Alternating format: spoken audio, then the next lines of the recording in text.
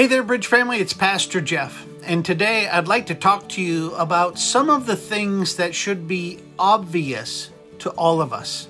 In fact, I want to talk to you about some of the things that are obvious to the entire world.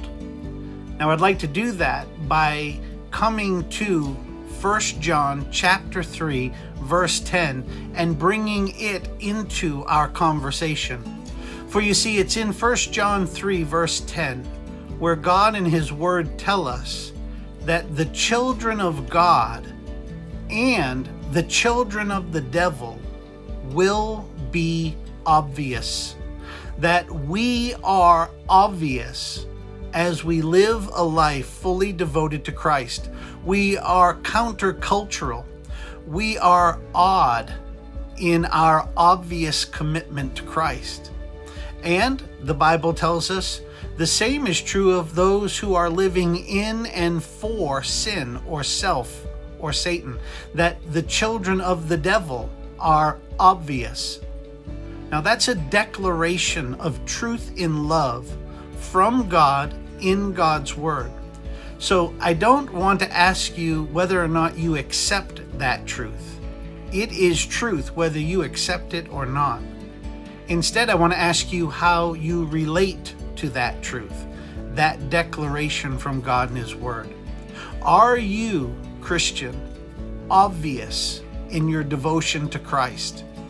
Or are you one who, in your lack of commitment to Christ, do you realize that if you're not obvious for Christ, you're obviously for the enemy of our souls?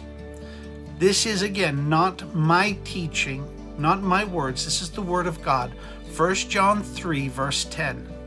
I'm not looking to put you into a box. I'm not looking to peg you in as this or that, left or right, in or out.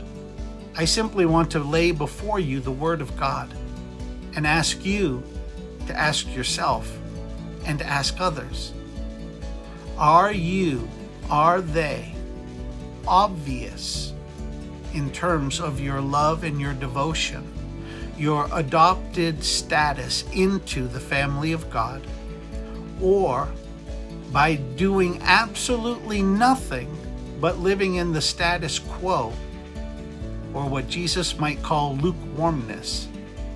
Are you making it obvious in both the mirror and out on the mission field that you are not in the family of God. I want to ask you be honest. In what ways are you obvious?